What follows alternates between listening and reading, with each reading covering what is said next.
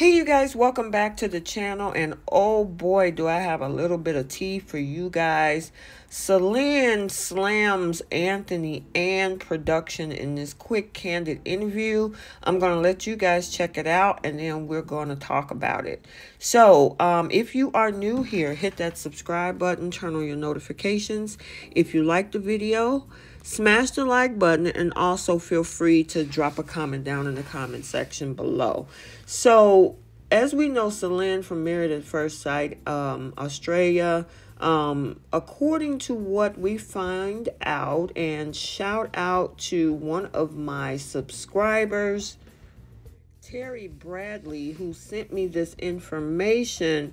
Uh, she calls a local radio station to claim producers and Anthony pressured both of them to sleep together on her wedding night after she says no. So listen to her, and um, we're going to talk about all of this afterwards. So without further ado, let's jump into this interview it, it, was hard. Is it an accurate representation of what happened, do you think, Selin, or have you got a, a bit of a, an unfair edit?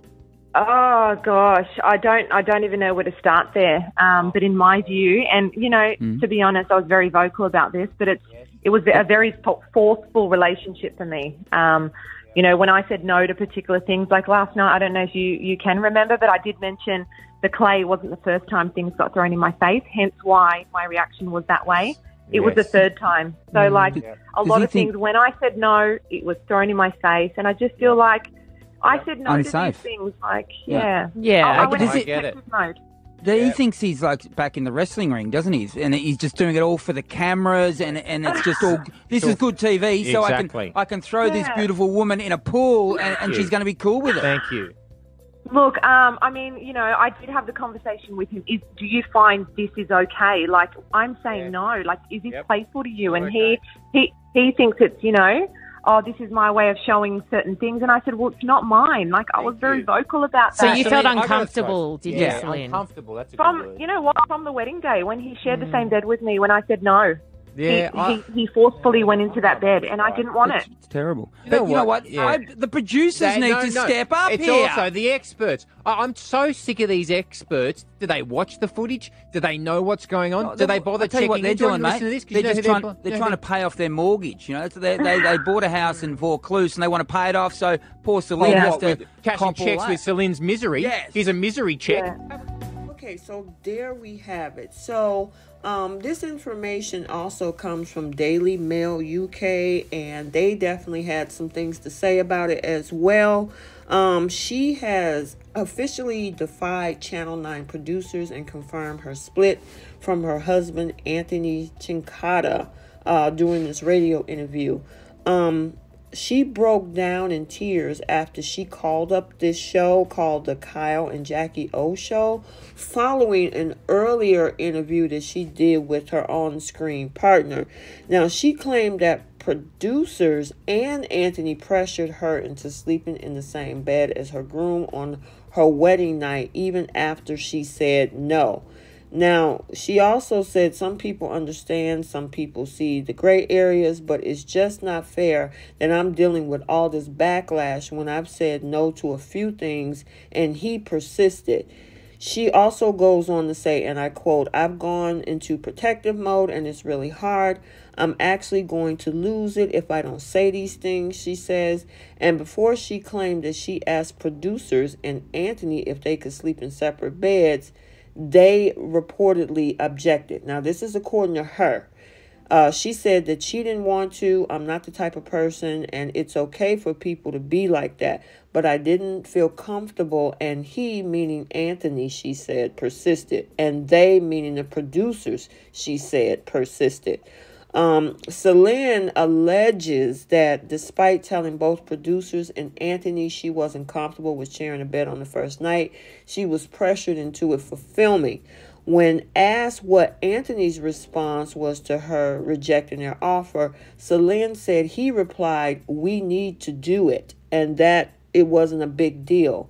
Now, Selin went on to claim she reluctantly agreed to sleep next to Anthony after they built this pillow fort, but said that she would have preferred the couch option. In response to Selin's allegations, Nine, which is the show producer, spokesperson, told Daily Mail Australia that there is never any pressure to put on participants in regarding sleeping arrangements. Nine and Endemol Shine, which are also production companies, takes their obligations in respect to the health and well-being of their participants of this program extremely seriously. All participants have access to the show psychologist during filming, during broadcast, and once the program has ended. Nine also have additional service for participants should they like or need further individual or confidential psychological support. This service gives participants access to clinicians who have been specifically engaged to support those involved in the program in relation to their experiences. This service is available to all participants for as long as they need it. It does not end. The executive assistant also claimed that there was a number of incidents, and this is Selin because she's the executive uh, participant. Um, she continued to uh, allegedly claim that there was a number of other incidents that made her feel extremely uncomfortable around um, him, meaning Anthony. Uh, Selin alleged that Anthony dunked her head underwater while filming a kayaking date, despite telling him she had an ear infection. Anthony, however, has since denied Selin's claim, with a close friend also coming to tell Daily Mail Australia he would have been happy to take the couch, but it was never discussed. If Selin was uncomfortable with what he would have slept, oh, okay, let me make sure I get this in the right context. If Selin was uncomfortable with that, he would have slept on the couch, but it wasn't communicated to him, they said. Um, it comes just days after Production Insider told Daily Mail Australia things took a turn for the worse just minutes after the couple checked into their honey, uh, honeymoon suite. Anthony's gentlemanly behavior that was on display at the wedding did not continue on the honeymoon, according to her. The minute the camera stopped rolling, he completely turned off this let me open the door, let me do this for you, and still, this is still the first day they claim. Selin apparently didn't struggle to connect with Anthony after she saw this shift Selin's radio interview comes after the relationship gurus John Mel, John Aiken, Mel Schilling, and Alessandra Rampolla slammed her for demeaning Anthony during Sunday night's commitment ceremony, which we saw. Speaking about their failed romance, Anthony described their marriage as a train wreck. Of course, we heard that. He then went on to explain how things uh, started to go downhill with Selin after their honeymoon. He showed vulnerability. She made me feel disrespected.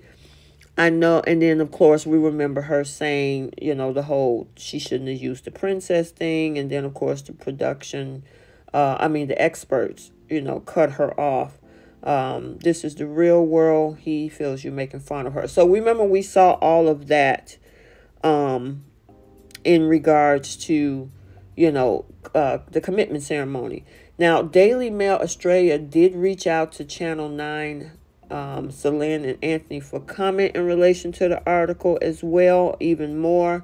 But this is crazy. So basically, um, it seems that Selin is saying that what we're seeing with Anthony on camera is not who he really is, and that she was made by the production team to do things that she really did not want to do. Um, it's basically at this point he say she say because she says one thing and then we have spokespeople from the production team saying hey we don't make people do anything. And if they feel like they're being psychologically you know violated or whatever you know you can talk to somebody. And the problem with this whole situation we'll never know the truth because anthony is denying things as well. Um, I would say at this point, listening at this and there might be some people that might believe her, but I guess because the way she's being seen on the show, a lot of people probably won't. They'll think that she's just trying to manipulate the public and trying to come up with all of these things. And that's the issue. If, in fact, you go on these reality TV shows, you have to be mindful that once you sign a contract, they get ownership and control on how they want to maneuver. Now, I'm not telling you guys that the show made her do these things. They spoke for themselves. I'm not speaking for them. So, you know, I'm not saying that that's the case. I do know of other shows and things like that that will put, you know, say, hey, you know, once you sign a contract, you know, there are times where you may not be portrayed in the light that you want to be portrayed in. So she had to be aware of that. But I guess she wanted to release some details out there because she's basically getting slammed in social media and probably especially down in the Australian social media. Um, I've also seen a lot from the US area where people that watch the AU version are feeling the same way about Selin and a, a couple of the other cast members like Andrew. But the thing is is that you know you your behavior that you portrayed the looks that you had on your face the dinner party how you tried to get the women on your side you did all of that you did all of that and the experts called it out now you feel that social media is coming after her. Now she's trying to defend herself. So I just want to try to keep you guys up to date with everything. Let me know what your thoughts are on this particular subject. It's pretty darn interesting. I she did a, another interview um, a few days ago, but I guess she decided to break you know break ranks and go rogue as this article described and decided to just pretty much throw Anthony and the production team under the bus per se, you know, with what uh, she's trying to do to, you know, uh, defend how she looks in, you know, the perception of the fans. So I know you guys got a lot to say. Sound off in the comment section and let me know what you think. When we do a live later this week, if you want to talk about it, feel free. We can talk about it. So until the next video, like, comment, and subscribe, and we will see you soon. Bye bye.